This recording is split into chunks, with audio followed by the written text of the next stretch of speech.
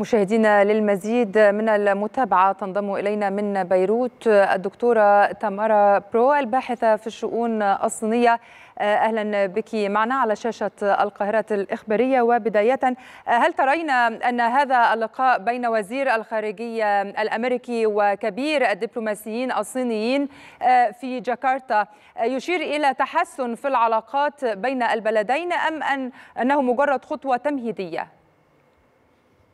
مساء الخير تحية لك وللمشاهدين.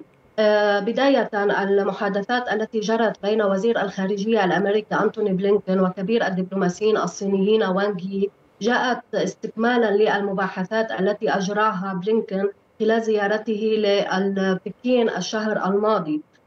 تناول بلينكن مع وانغ يي اليوم على هامش في محادثاته على هامش قمة رابطة الآسيان موضوع الفنتانيل وقد حاز على هامش واسع من المحادثات بين المسؤول بين المسؤولي المسؤولين. لأن الفنتانيل يسبب نسبة وفيات عالية جدا في الولايات المتحدة الأمريكية وتعمل الصين والولايات المتحدة على تشكيل لجنة عمل لمكافحة المخدرات غير المشروعة كما أن الكمية كبيرة من المواد الكيميائية التي تستخدم في صناعة الفنتانيل تأتي من الصين أيضا من المباحثات التي أجراها بلينكن مع وانغ يي موضوع المواطنين الأمريكيين المحتجزين في الصين. أيضا ما أعلنته شركة مايكروسوفت مؤخرا من أن هناك تجسس حصل اختراق يمكن أن نقول اختراق لل البريد الإلكتروني لحوالي 20 منظمة موجودة في الولايات المتحدة الأمريكية من بينها دوائر حكومية أمريكية، أيضا تم التطرق إلى حرب الروسية الأوكرانية وأيضا إلى بيان قمة الناتو. وإلى حقوق الإنسان في شينجيانغ وفي نعم. التيبت دكتورة تمارا يعني نعم لماذا يعتبر الحفاظ على السلام والاستقرار عبر مضيق تايوان امرا ضروريا بالنسبة للولايات المتحدة والصين؟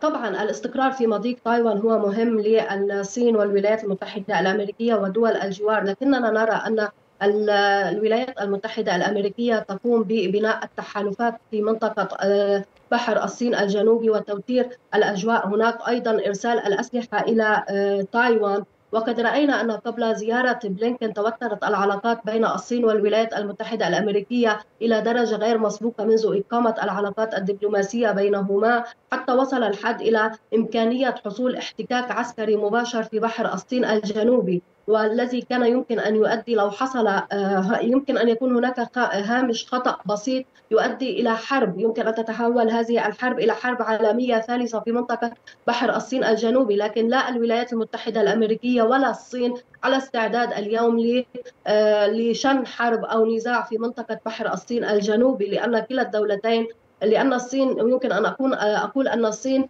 همها بالدرجة الأولى الاقتصاد وتسعى حاليا إلى تطوير اقتصادها. لذلك إذا نلاحظ أنه المحادثات مع الولايات المتحدة الأمريكية تتمحور حول الاقتصاد وهذا ما رأيناه من خلال زيارة وزيرة الخزانة الأمريكية إلى الصين من أجل إعادة فتح قنوات الاتصال الاقتصادية حتى أن هناك زيارة محتملة لوزيرة التجارة الأمريكية إلى الصين.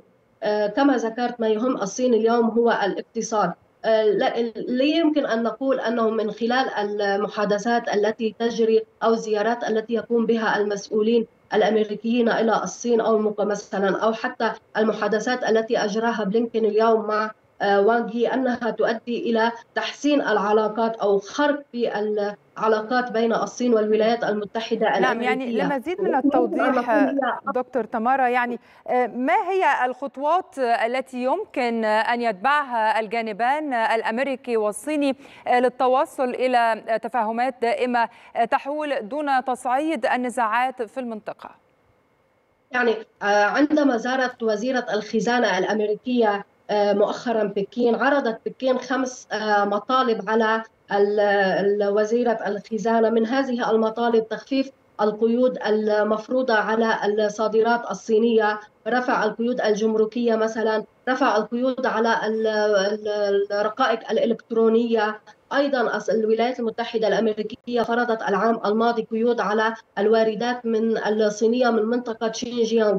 أيضا فرض إلغاء القيود المفروضة على الشركات الصينية في الولايات المتحدة الأمريكية. هذه المطالب أو أو يعني الصين تنتظر من الولايات المتحدة الأمريكية أن تقوم بمبادرة مثلا رفع القيود الجمركية التي فرضتها إدارة ترامب.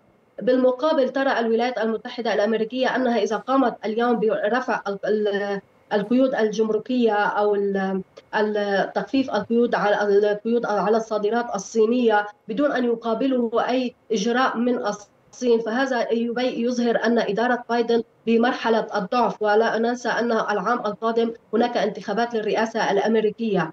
الصين تنتظر من الولايات المتحدة الأمريكية أن تبادر بإجراء تحسين العلاقات كي تقوم الصين أيضا بملاقاة الولايات المتحدة الأمريكية في منتصف الطريق. لكن الزيارات التي يقوم بها المسؤولون الأمريكيون واللقاءات مع الصينيين يمكن أن نقول أنها تساهم في فتح خطوط الاتصالات المباشرة بين الجانبين. ولكن يبقى أن الخطوط الاتصالات من الناحية العسكرية ما زالت الصين ترفض إجراء حوار عسكري قبل أن يتم رفع القيود العقوبات المفروضة على وزير الدفاع الصيني. ولكن هناك تطور حصل خلال الساعات الماضية أن السفير الصيني الجديد لدى الولايات المتحدة الأمريكية قد التقى مسؤول عسكري دفاعي هو مساعد وزير الدفاع بشؤون الأمن في منطقة المحيطين الهندي والهادئ وعقد معه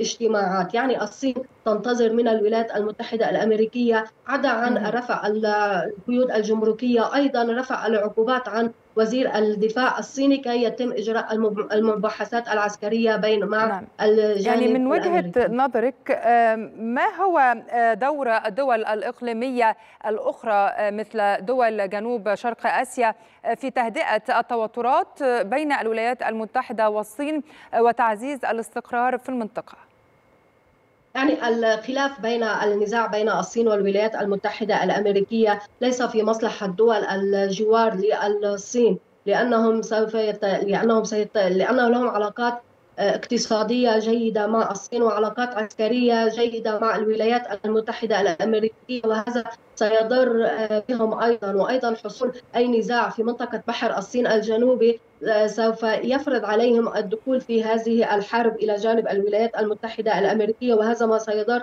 بعلاقاتهم مع الصين. لذلك فإن الحفاظ على الأمن والاستقرار في منطقة بحر الصين الجنوبي وفي مضيق تايوان سيساهم في تحقيق النمو الاقتصادي لدول منطقة المحيطين الهندي والهادئ والصين والاقتصاد العالمي بشكل عام.